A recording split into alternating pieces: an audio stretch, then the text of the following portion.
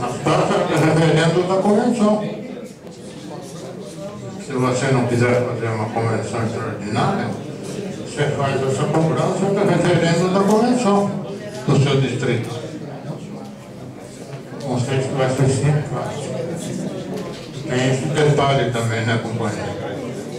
Mas, infelizmente, né, nós temos e o que nós apresentamos é justamente baseado no, no que foi aprovado.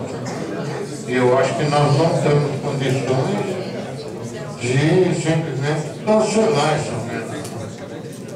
Porque é um caso específico do seu distrito, né? Talvez não seja dos outros. E se a gente fizer uma alteração para você, nós teríamos que fazer para todo mundo. E o orçamento também Cacetado é fica todo alterado e vai para o espaço. Né? É muito grande, né?